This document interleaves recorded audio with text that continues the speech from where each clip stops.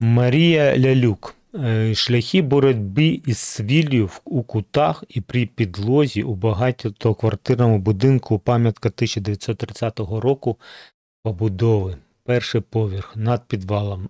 Опа, стіна 80 см цегла. Тут де дешево не вийде. Не вийде у вас дешево, на жаль, Марія. Ох, Олександр Васильович налазився по цих підвалах в началі 2000-х. Це жах просто. Скільки я об'єктів тоді зробив реконструкції, це попець просто.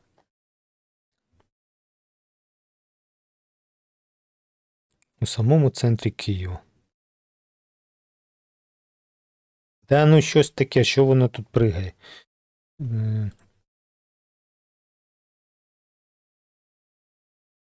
Це перекриття. Це підвальна частина. І ось тут дивиться.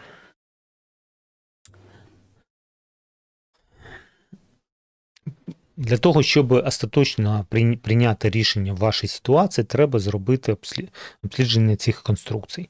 Те, що я зараз скажу, це найчастіше те, що ми можемо зустріти в старих будинках.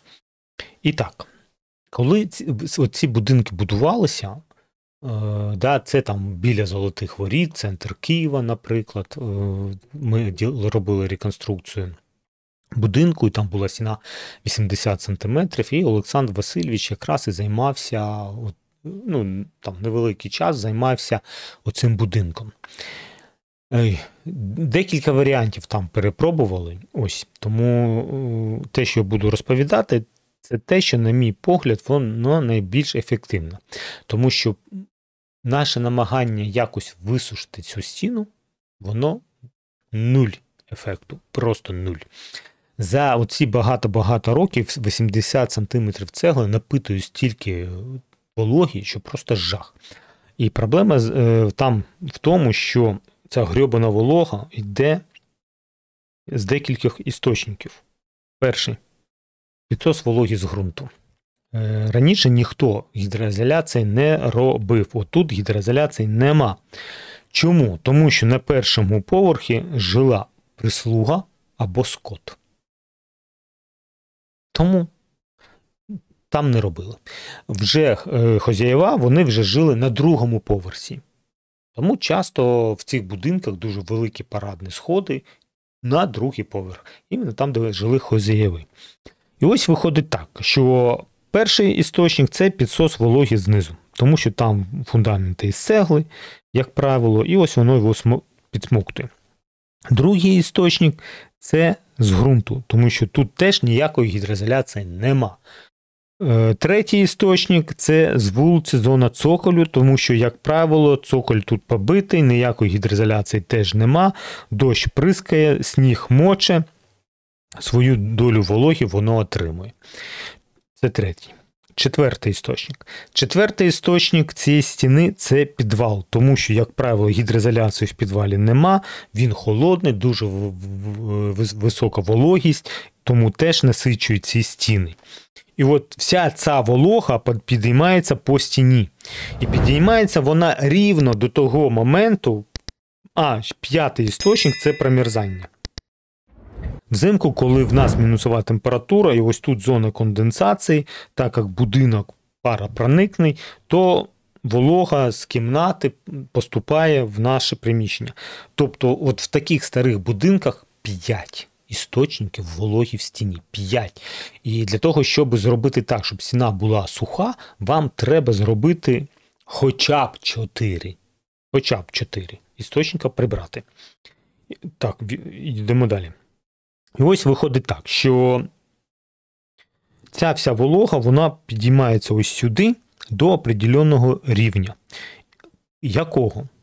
Вона зупиняється там, де встановлюється рівновага. Рівновага між тим, що приходить і що уходить. Уходить вентиляцію будинку або вітром, тому що фасади вони відкриті. Ось і тому, чим краще вентиляція в кімнаті, тим нижче цей рівень. І ось по молодості була попитка зробити гідроізоляцію. Що це дало? Нічого не дало. Тому що ми змінили цю рівновагу. І тепер ось ця лінія, котра була ось тут, стала ось тут. Тому що хочемо ми чи ні, а вологі треба кудись діватися. І просто стали цвести обої вище, відвалюватися вище. Зрозуміло? Ось. Так що а кут він ще додається чому гірше, тому що в куті, якщо ми подивимося, як циркулює вентиляція, вона ж циркулює ось, ось так. І кути, як правило, вони менше вентилюються із-за цього. Це план. Ми план дивимось. І по вертикалі теж саме. Ось. Плюс він е, сильніше промерзає, тому що площа наружної поверхні вона значно більше, ніж площа внутрішньої поверхні, тому кути сильніше промерзають. І от з чого починається ця сира сирость і грибок? З кутів. Тому що п'ятий оцей істочник, він в куті найбільший. Найбільше промерзання йде. Зрозуміло? І тепер для того, щоб вам прийняти рішення, що ж вам робити то тут виходить так, що треба е, ну, обслідження, воно повинно дати інформацію, хто з цих п'яти істочників найбільший. Хто? Якщо тут е, всередині лягушки квакають, то підвал. Ну, Його підтоплює, там стоїть вода, погані труби, прориває дуже часто, тому сирость ця стоїть там і так далі. Може бути, може бути. Ось, Або, наприклад, тут йде дорога, або якийсь там приямок, в котрий постійно постійно тече вода, сніг там і вся ця хрінь, і теж може бути, може бути. Тому треба це все ну, обслідувати. Є в нас таке поняття, як саніруюча штукатурка. Так ось, е, що було зроблено на тому об'єкті? Після експериментів на протязі декількох років тому що треба зробити, понаблюдати, знову зробити, понаблюдати. Найкращий результат дало наступне. Є така технологія, котра зветься санація. Що це значить? Це значить, що буряться отвори, вставляються ін'єктори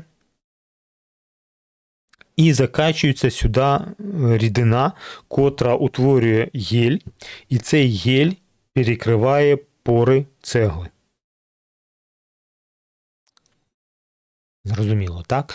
Тобто, вже та волога, котра є в нас от тут, от сюди, вона потрапити вже не може. Все. Ця не може. Частково ця не може. Зрозуміло, так? Після того, коли цю санацію зробили з першого разу, вона не дала 100% результат, все одно десь щось проступило, то е, зробили другий раз, потім третій раз, і вже тоді воно все перекрило. Все. Це було вже помітно, тому що вологість цієї стіни стала спадати. Для того, щоб цю стінку підсушити швидше, стінка оштукатурюється саніруючою штукатуркою. Дуже велика помилка, коли не зробили санацію або не зробили відсікаючу гідроізоляцію, а нанесли санкціонуючу штукатурку. Вона не допоможе, тому що в неї є е, той об'єм вологи, котрий вона може витягти зі стіни, і більше вона не може. Все, вона відпрацьовує. Саніруючий ефект спадає. Тому е, цю штукатурку треба використовувати тільки після того, як ви прибрали оці істочники вологі. Тільки після цього ви можете використовувати санацію. Далі. Далі треба звернути увагу, тому що ось тут на підлогі повинна бути параізоляція обов'язково. Е, якщо е, її немає, її треба зробити і так далі. Зрозуміло? Ну і останній варіант це примерзання. Що з ним робити?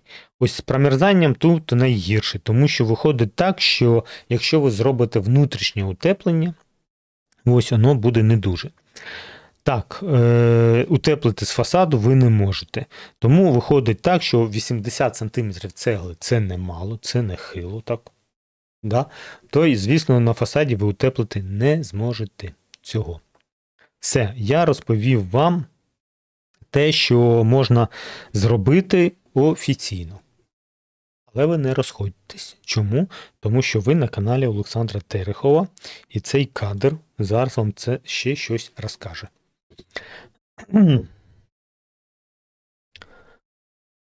Багато років тому я розповів теорію про внутрішнє утеплення. Що це значить? Це значить, що ми можемо робити внутрішнє утеплення по двох варіантах. Е, перший варіант це матеріали пара не проникне, капілярне неактивне. ЕППС, піноскло, наприклад. Або другий варіант використовувати парапроникні матеріали, але з високою капілярною активністю. Наприклад, це може бути перлити, е, десь там газоблок. Всякі органічні утеплювачі можуть бути там, типа посіченої соломи з глиною, да, може бути такий варіант, або типу арбалита щось там і так далі і тому подібне. Але другий варіант він потребує розрахунків. Там треба знати е, властивості матеріалу, треба розраховувати. Е, для нас, пересичних е, граждан, це ну, практично неможливо. Тому є такий варіант, як внутрішнє утеплення. І тут виходить так, що є два матеріали, котрі можуть вам відчасті допомогти. В чому теорія? Дивіться. Діло в тому, що для того, щоб був грибок, е, потрібно два фактори. Це температура біля 10 градусів. Чому біля 10, хлопці, дівчата? Хто знає? От жаль, що я, знаєте, так, не не, не можу так. Іванов! Сідай два, бо ніхто не знає. Чому біля 10 градусів треба грибку? По дуже-дуже простій причині. Е, тому що при такій температурі випадає конденсат.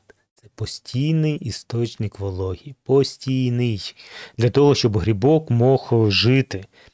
І ось виходить так, що ви можете перше зробити внутрішнє утеплення. Друге, ви можете прокласти е, обогрівач, поставити в тому куті радіатор. Як це працює? Наприклад, якщо тут йде труба Е, від е, опалення, то вона підігріває повітря. І коли у вас тут стоїть якийсь шкаф, котрий відсікає тепло, воно не доходить до стіни, температура стіни біля 10-12 градусів. І тому тут е, виходить так: вентиляція невелика, температура 10-12 градусів, для грибка те, що треба. Плюс ще ви бумажні обої якісь там наклеїли, тобто органіку дали, щоб йому було що їсти, і все, і поніслось. Тому, якщо проклали тут трубу, ви можете локально підняти температуру, наприклад, до 15 градусів, температуру внутрішньої поверхні, або радіатор поставити. І в такому випадку та волога, котра е, тут є, вона отримує достатньо енергії для того, щоб іспарятися і з вентиляцією виходити. У вас тут з'являється оцей механізм додаткової вентиляції цього кута. Зрозуміло? Тобто, оце от один із варіантів. Ми підняли температуру. Ок. Ок. Далі йдемо. Е, При тому санація була би гарна виконати істочник вологі. Е, далі, інший варіант. Інший варіант е, може бути, наприклад, я зараз взагалі скажу таку річ, що зараз мені там в коментарях потім будуть пита, пит, е, кричати: Да що ви таке вашу мать? Стіна штукатуриться цементна з висковим розчином. Потім наклеються под гребенку максимально плотно экструдованный пінополістирол спас гребень, шпаклюються і там обої, покраска і так далі. Внутрішнє утеплення зміщає точку росин вовнутрь. Ля-ля-ля-ля-ля-ля. Ну і що? Так, воно сміщає точку, була зона конденсації ось тут, а після внутрішнього утеплення вона стала ось тут. Була в нас з вами температура ось тут, е, наприклад, 10-12 градусів, а стала 5-6. Гарно? Гарно. Тому що при таких температурах грибку якось не дуже подобається. дуже низькі температури. Мало того, ЕППС не пускає вологу ізнутри. Тобто один істочник ми відсікаємо, він паронепроникний. Тому плотно ставимо, плотно клеїмо і так далі. Але у ЕППС є ще одна властивість, котру мало хто знає. Крізь ЕППС не проходять коріння грибка. Спори не проходять. Цей матеріал їх не пропускає. Тому все, що їх паршивого є, воно залишається ось тут. Зрозуміло? А тепер оця от рівновага. Пам'ятаєте, я вам показував, що воно сохне вліво, вправо. Так ось виходить так, що коли ми це робимо на поверх, ми що робимо? Ми збільшуємо площу висихання назовні, тому що знутри ми все це перекриваємо. Зрозуміло? Так, а тепер е, питання для відмінників. Який натуральний органічний матеріал не пропускає плісняву? Грибок. Ви всі цей матеріал знаєте. Поставте на паузу, напишіть мені в коментарях, потім ми поговоримо далі. То який це матеріал? А я вам не скажу. А я вам скажу у вівторок, якщо ви мене запитаєте. Все? Тому що є ще один матеріал, котрий ми можемо використати під цю теорію, і він органічний. Ну ладно, скажу. Зветься він.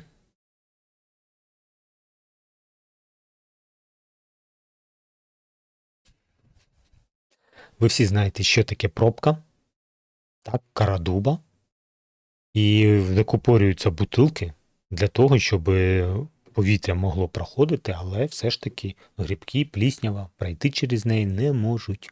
Тому дійсно є такий матеріал, як пробковий агламерат. Він теж може бути як утеплювач, але в нього, на жаль, дуже великі пори, і тому він от, ну, Треба робити якусь основу або його от якось оздоблення, щоб крізь оці крупні пори волога не потрапляла до нашої температури, до болі низької температури. Ну, а враховуючи, що це дуже дорогий матеріал, я його не використовував в цьому випадку. Але теоретично він так, він може спрацювати. Е, може бути ще пробкова підложка, але я вам скажу так, хлопці, що клеїти пробку на стіну це жах. Це просто жах. Я в себе в квартирі клеїв, це жах. Там такі вонючі клей, їдкий, і воно ще відвалюється постійно. Це це жуть просто. Тому екструдований пінополістирол залишається самим доступним і простим методом для того, щоб це зробити.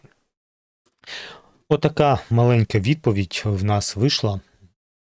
Я сподіваюся, хлопці і дівчата, що вам дуже зі мною цікаво і ви хотіли би, щоб я відповів ще вам на, на ваше питання, але, на жаль, час вичерпаний.